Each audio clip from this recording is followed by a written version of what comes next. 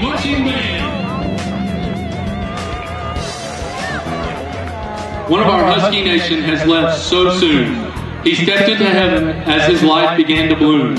His legacy was short but meant so much. Lives forever, changed by his touch.